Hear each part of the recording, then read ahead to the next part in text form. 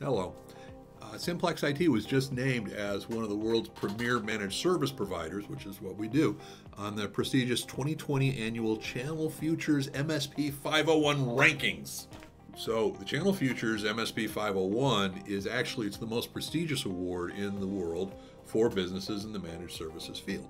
So MSPs from around the world compete by completing an exhaustive survey, application, they self-report product offerings, annual total recurring revenues, profits, revenue mixes, growth opportunities, company and customer demographic information, along with toenail clippings.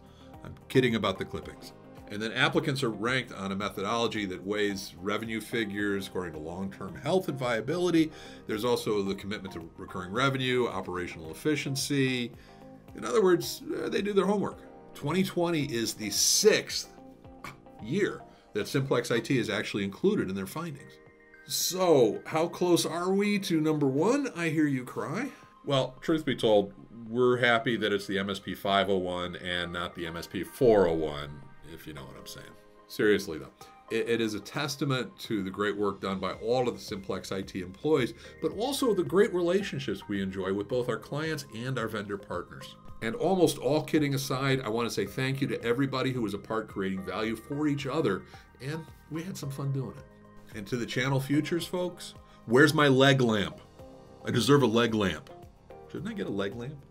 So, what awards are you most proud of, personally or for your organization? Tell me about it in the comments below.